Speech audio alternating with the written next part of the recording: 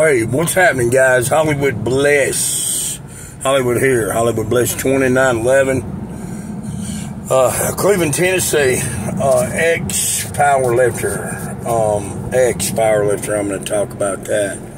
Um, 50 year old over the middle age mark bodybuilder and uh, personal trainer, NASM certified personal trainer, guys corrective ex- exercise specialist and aspi- aspiring doctor of physical therapy. Um, so, guys, I want to talk about powerlifting um, and what it did for me. Um, I had a had a guy, a friend, who has been powerlifting.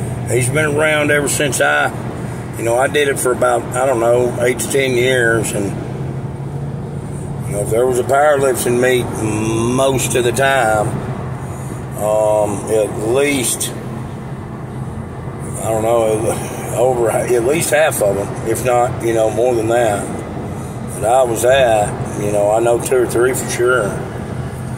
Um, he was there. And, uh, you know, I remember when the guy had started I don't know if he started, but I remember when I started, you know, he was powerlifting and, you know, he went on to, you know, get real fired up, dedicated about powerlifting and, you know, had, uh, you know, was ranked very highly in the world and started his own gym and has trained several powerlifters and, um, you know, over the years um, and I saw him post today on social media about how, you know, what part of powerlifting is good for you. And he put, you know, and he had, you know, it was like color coded, and it?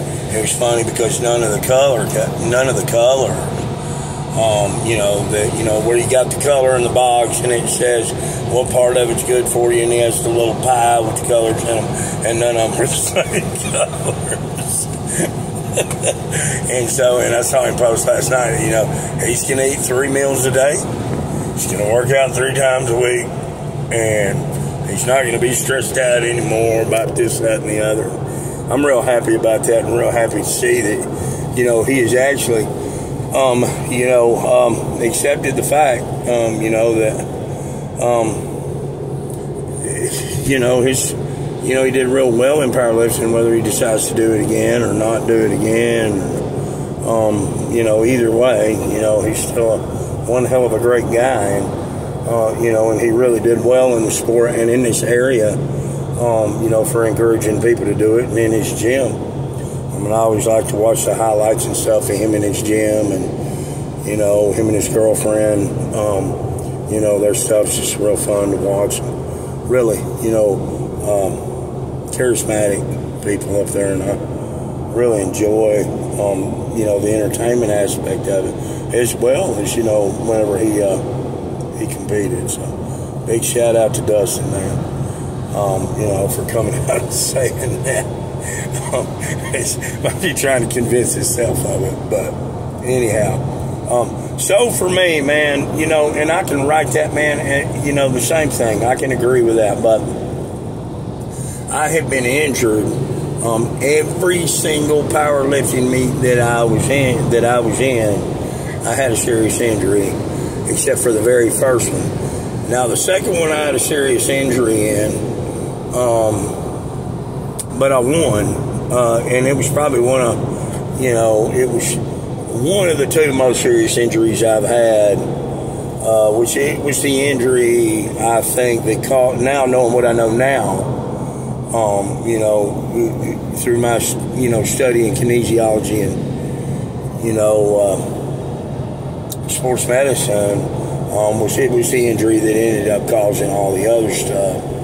Um, which the body's kinetic chain, man. You know, you, it, it, can only be as strong as its weakest link. Um, and so, uh, you know, I, um, I tore my rotator cuff I think it was because of dehydration at the Tennessee State Championships in three different places. I've never had surgery. Um, I kept competing with it like that. Uh, you know, I think I, at the time, you know, I was benching over 400 pounds, and um, I actually did that with 400 pounds. You know, and um, I've been doing that for quite a while. Um, so even though, you know, I competed, did real well in the squat and the deadlift, and you know, overall I did real well. Um, um, you know, it took several years. I'm thinking probably six years before I was even close to 400 pounds again. Um, you know, so I never, I did, I made just a very little progress in, you know, all the years that I competed, um, but I still did well, um, you know, because I was just kind of where I was at. Um, but anyway, man, you know, you talk about powerlifting and what it did and, what part of it was good for me. Uh, when I first started powerlifting, man, um, you know, I was just going to be a pro wrestler, and it, it was just kind of a joke. Um, you know, and Jesse Rogers and some of those old powerlifters worked out the same gym I did. The guys from the Southern Powerlifting Federation. Me and a buddy of mine, we wanted to be pro wrestlers, man. We were bouncers at a bar, and we wanted to be pro wrestlers. So I never done anything like that, man. I, like I say, I fought a little tough man. Um, you know, back when. Uh, you know, back when my, in my mid to late twenties, and um, you know, I did some mixed martial arts, MMA, and Brazilian Jiu Jitsu, and I'd done martial arts growing up or whatever. You know, never ran. I've always worked out. I mean, that was my deal. Um, you know, I trained, but I never really, you know, besides for having the Arnold Schwarzenegger Encyclopedia, Big Book of Bodybuilding.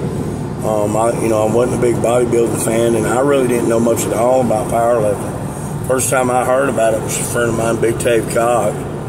Um, used to be a big, you know, you used to watch old Anthony Clark, man, back whenever he was, you know, um, ripping and roaring. Big, uh, big Hawaiian guy, man, who had the bench press record for several years.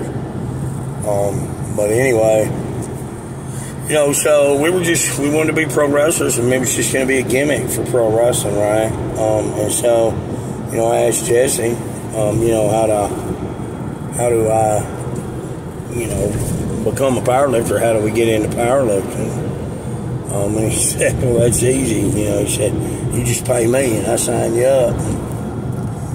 He, um, he signed me up. Well, he didn't sign me up at first, which is a crazy thing because, you know, Jesse is one of these men who, you know, will hold on to, to a dollar until he gets another one, you know, and hold on to them until he gets another one, you know, right? Um, and sell the one for three times the price of the other, um, used. Uh, so, I mean, you know, I dealt with, you know, uh, just the way he was, which just kind of shows me, man, that it was really meant to be from the very beginning. Um, you know, but uh, yeah, I didn't pay him, and he came in the next day, and you know, his first thing was, he said, "Hey man," he said, um, he said, if you want to join that meet, or he said, if you want to compete, he said, I'll work it out with you. You always kind of felt something about this because he used to sit there and watch me when I was lifting. It's kind of like he knew something, man. But um, anyway, uh, so he you know, the next day he said, man, he said, if you give me $30, man, um, he said, um, I'll work something out with you, man. He said, you can find me 30 when you get your next check, and, and I'll work out, you know, When you pay your membership, you know, by the time the meet is and everything, you can start getting ready. And I mean, said, I'll bring you some knee wraps and I'll show you how to put them on. And um, he said, I'll bring you a singlet. Um, you know, and you know, so I give him thirty bucks, man. And the next day, you know, he comes in with this box full of stuff. He's got wraps, everything. Ends are, I mean, Jesse Rogers, he owned the Southern Powerlifting Federation for 25 years or whatever. Um, but anyway, he, uh, so he took and he, um, he had this box full of stuff, full of knee wraps and, um, you know, singlet. So he gave me the singlet. Um, and, you know, I'm thinking he was wanting 25 bucks for it. I don't even remember. But I remember he gave me the wraps. I still got them today. First set of wraps, I scored 700 pounds And he said, I'm going to show you, you know, and he, he gave them to me. He said, there, he said, you're yours, man. Um, he said, Andrew, Andrew um, sends him this stuff to try. Um, you know, and he had a pair through back or whatever. And so I gave them to me. They were brand new. And, um, said, I'm gonna show you how to I'm gonna show you how to put them on one time. And I said, that's it. I said, all right, you know, and so he he showed me how to put them on and everything, um, you know. And uh, I still have those wraps. Anyway, I mean, it, it's a, it's kind of a hell of a story. I mean, and then but that's part of it, you know, because the way Jesse is with his money and with his business, it's just kind of amazing, you know, that he was reaching his hand out to me. Um, you know, looking back at it now, I didn't know Jesse then, um, but looking back at it now, you know, he, he reached his hand out to, to help me out. Um, and, you know, and it's kind of the basis of, of, you know, where I ended up. But so he, um, he, uh, you know, I didn't have a belt either. You know, we didn't have a belt. And, um, you know, so I told Carter, and Carter, the guy that owns the fitness factory where we trained at, um, and if anybody knows Carter, same thing. I mean, he will hold a nickel so long that the date and Thomas Jefferson's face will be imprinted in his hand for a day or two. Um, you know, because he was just one of these guys that just didn't spend money like that. He hung on to every penny he could. Um, you know, and if you owed him money, he was after you and he spent his last as he possibly could. You know, he was a guy who tripped about his money. Um, you know, and uh, I told him, I said, hey, I said, man, you know, I just, you know, and I put the wraps on. I think, I don't know, that day, man, I might have squatted 405 five times or something. It kind of tripped me out that you know, I was able to do that because we hadn't been doing that. No belt, no wraps. We hadn't been squatting like that.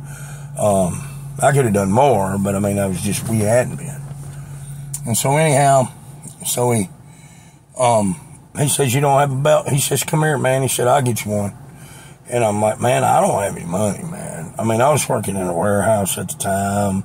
Um, you know, hell, man, I was trying to sober up. I'd been drinking you know, that was right at the tail end of my drinking career. And, you know, I lost my good job and had to take another job because of a, you know, a situation with a girl at work. And, um, you know, my son was just now, I think my son had already gone to boot camp, but he had already gone to boot camp. Um, so, you know, I'd been raising my kids, man, and, you know, and now, you know, it's just I, things were tight, real tight, man. You know, I had a sports car that you know was costing me everything that I made. Um, but anyway, um, so he says, "Hey, I'll buy you a belt, man." And I'm like, "What, man? You gonna buy a belt, man?" He said, "Look," he said, "Man, I'll get you a belt, man. When you get the money," he said, "then you pay me." Um, you know, and he said, "You can pay me on like you pay your membership, you however you want to pay it. You want to pay me five dollars a month, pay me five dollars a month." I'm like, okay, man, cool.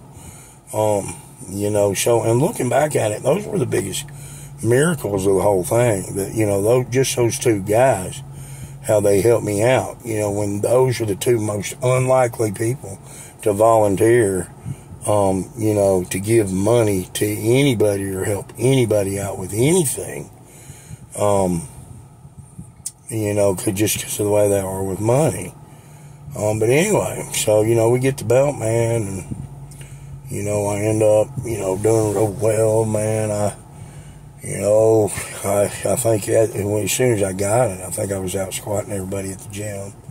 And then my first meet, um, you know, I squatted 600 pounds. And, um, you know, I think I got 1,500 my very first meet. Um, but, you know, I never was a 2,000 pound totaler. I never got up there. I kept getting hurt. And, you know, eventually I squatted 715 pounds in a meet and My bench did get back up to 390. Never felt the same. Never pulled. I pulled 610 pounds one time, and but I pulled 600. I don't even know. I'll probably go in there and pull 600 right now. Um, you know, but um, you know, moral of the story is, yeah, I got hurt in powerlifting, and yeah, um, it wasn't good for my body, and it beat the shit out of my body. Um, you know, and I'm still paying for it. Um, but you know, like I say, um, you know, at the time, you know, I was trying to quit drinking. I, you know, I, I was fresh out of that deal. Um, you know, and I was training, I was getting focused, you know, when I started focusing on powerlifting, you know, so I was around more powerlifters, um, you know, which was a more positive environment for me to be in, you know. Um, I started, you know, following uh, Stan Efferding and the vertical diet, man, and listening to his, you know, nutrition and, um, you know, and training advice. Well, his nutrition advice, you know, for the most part. Um, you know, and then I kept winning. I mean, I never lost. You know, out of just the seven meets I was in, I never lost. I kept winning them. Um, you know, and then, um, you know, I had a real, another real serious injury. Um, and that's when, you know, I really, and, and, this whole time, you know, that I'm powerlifting, that I'm focused on powerlifting, man, I'm not drinking and, and raising hell and uh, none of that stuff. You know, I'm not, you know, I'm keeping my nose staying clean, man. You know, um, I'm working, powerlifting. Uh, you know, I'm focused on powerlifting. That's all that I thought about, man. I never was a powerlifting fan. That's the thing. I never kept up with any powerlifters. I don't know who they are, um, except for uh, Stan Efferding. You know, and I don't even remember how I stumbled across what he was saying or whatever. Um, you know, the vertical diet steak and all that stuff. But it was a real, real good thing. It kept me out of the bars, man. It kept me focused. Um, it gave me a sense of accomplishment. Um, you know, and then in 2018, uh, I got a coach. A coach coach. No, yeah, in 2018, I got hurt and um, I tore an adductor magnus at, uh, bicep femoris short head, um, and you know my whole leg turned black. I didn't think I was going to be able to walk. Um, you know, it was a mess, man. I got carried out of there. Um, you know, which is not good for me. Um, but what happened was I went to see Rachel Lawler at the Grit House, and and Dustin was there too, um, with her, working with her, working with me, um, you know, and they, they assessed me, you know, and showed me some weaknesses that I had in my glute meds, like a lot of people do. Um, you know, and this back in 2018, 2017, 2018, um, or 19, 18 before 19, right after Gritmas. Um, you know, and so I started doing the work. I started you know, rehab. I'd wake up at three o'clock in the morning. I'd rehab my hips, man. I'd have my rice and my steak ready. You know, I'd get my, um, you know, bio gut healthy shake ready that, you know, was basically part of the suggestions of the vertical diet. And I'd do that every single day. You know, I'd do hydrants, I'd do clams, um, I'd do lifts, um, you know, and I'd do the stretching, I'd do the pigeon, um, you know, and, uh, you know, I would sit uh, you know, before all that stuff, I would sit and I would spend uh, about 15 minutes, uh, well, 17 minutes probably, enough time to listen to Metallica Orion and Metallica The Call of Ktulu. Um, you know, and in my mind, I would envision an 800 pound squat, a 400 pound, 450 pound bench, and a 700 pound pull. Um, I, and then I would, um, you know, envision being a personal trainer, having a couple clients. And then I would envision, you know, being a physical therapist in the human anatomy. And, um, you know, so this went on, man, for, you know, through the years, um, you know, from about 2018 to 2022. Um, you know, and then 2018, I got a coach, Zach Sanders, and that just completely changed the game. Um, you know, and then it was in the next couple of years, you know, I was, you know, top 20. My squat was always top five. And, you know, for the 45 to 49 masters, even with the weight that I was giving up. Um, but, um, it gave me purpose. It gave me, a, you know, you know, now at this time, you know, hell, you look back and I got some years behind me without alcohol. And, you know, and there's nobody in my life that is, you know, abusing substances or alcohol or anything at all or any kind of people that, um, you know, I got, had gotten a relationship with a beautiful woman, um, Connie Cauthen, um, which was just, just wonderful, um, you know, right off the rip. Uh, she fell in love with powerlifting at the first meet she was at. And, you know, just a good old country girl that knew nothing about about lifting for sure. Um, you know, but just really, really loved powerlifting. Um, you know, and I, I was able to lift and and everything before she ever even got off work every day and hang out with her. Um, so I mean, um, good stuff, good stuff, and um, you know, uh, you know, and then it was that last year before, um, you know, um, got hurt. Um, I ended up doing, you know, it, when you're saying this stuff, when you're you're manifesting um, these things, um, you know, this stuff, your desires, you want to be very specific. You know, I did an 800 pound pin squat, or I did an 800 pound squat out of a rack that we had lowered. Now, um, I don't want to hear, you know, somebody, uh, you know, you know, I had a guy in here, man, who was barely, you know, who couldn't even squat 700 pounds in a multiply suit, three meter wraps, um, squatting it high and gassed out of his mind. So I don't want to hear nothing about um, my 800 pound raw squat, even though, you know, it was, you know, half mast out of a mono, okay?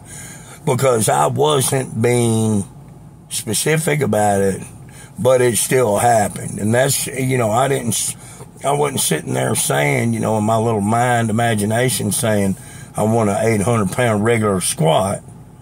I was saying, um, I want an 800 pound squat. Right. And so, and with the 450 pound bench, same thing with it, you know, uh, Coach Maddox, Anthony Maddox, who's, running the powerlifting in his own federation right now that he created. Um, today, uh, you know, called me up, you know, from the back when I was at the fitness factory one night and said, Hey, Hollywood, try this out. You know, and I put on his little, uh, a bench daddy and bench press 455 pounds, you know, um, and I pulled 700 pounds on a rack pull. Nothing regulation but that's why I didn't never say that, but it happened anyway. Okay? Um, so you can argue with that or not, but that's out of the box thinking, right? Um, you know, I was focused on powerlifting. I was focused on me. I was focused on getting better. You know, I was working on me. I was looking at me. You know, I was working with somebody. Um, I was talking to, um, you know, a, a gal who, um, you know, who was, you know, real spiritual because I, I contacted her. That was the last meet. Um, you know, because I wanted to, you know, see if I could get any weight, if I could add any weight on the bar out of getting more spiritual. And I'm not talking about religious because, you know, she's into crystals and, um, it was really recovery through childhood is what she was all about, you know, and, and, and the, the power versus force. If, if you've ever heard any, um, if you ever want to read a book, read Power versus Force by Dr. David Hawkins. Um, and it talks about um,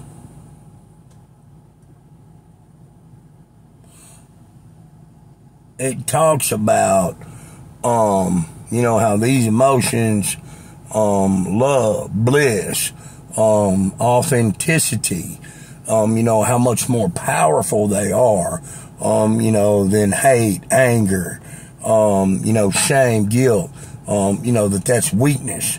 And these other emotions are actually on a higher energetic vibration um, and make you more powerful. And that's actually what happened. Um, you know, so I was working with her, and um, you know, and by this time, man, you know, I'm all about it. You know, being a a physical therapist because actually that's what I've been doing. I've had to basically rehab my hips um, and prehab my hips every day um, for squatting the heavy weights.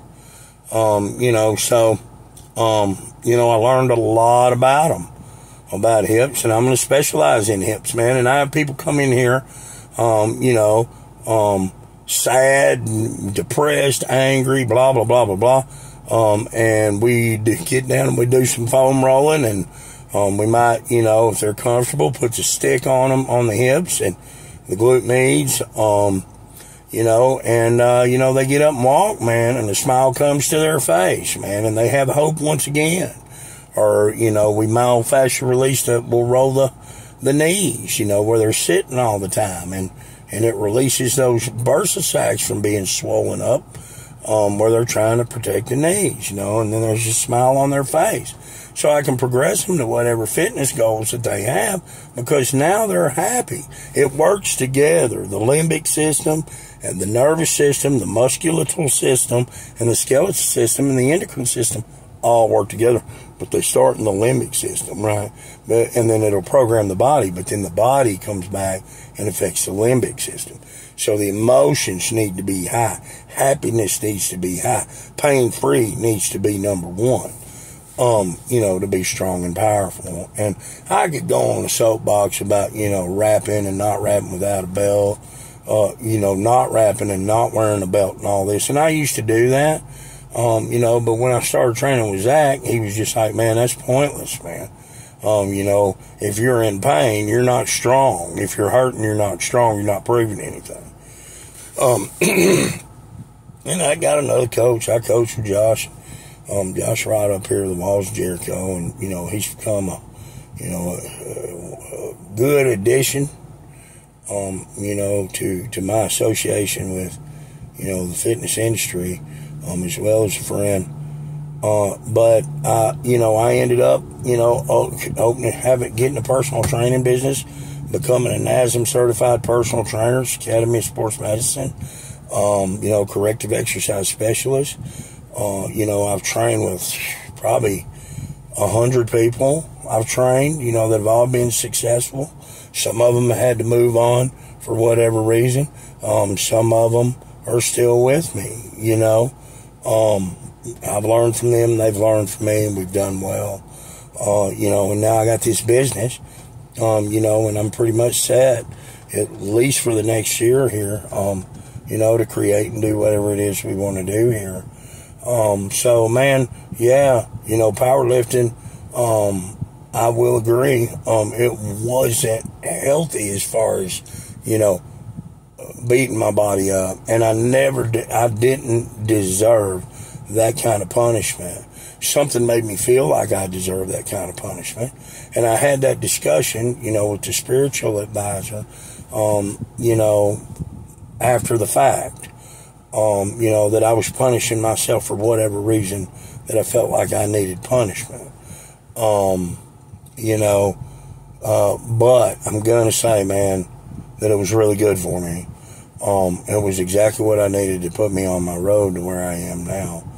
Um, you know, and and and being uh, being an observer, uh, my boy, um, it's done the same for him because he's got a you know beautiful wife, a flourishing business, and um, a lot of gym members and clients that really love him.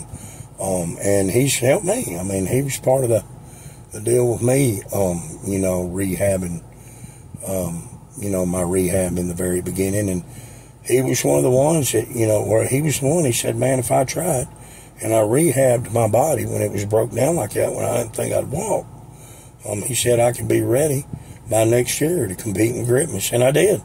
And I squatted 700 pounds for the first time. Powerlifting was good, man. Um, you know, but I turned the page, man. Um, Uh, not unless I'm facilitating powerlifting um, here and or training powerlifters. that's all I got, man. Please like, subscribe, and share, guys.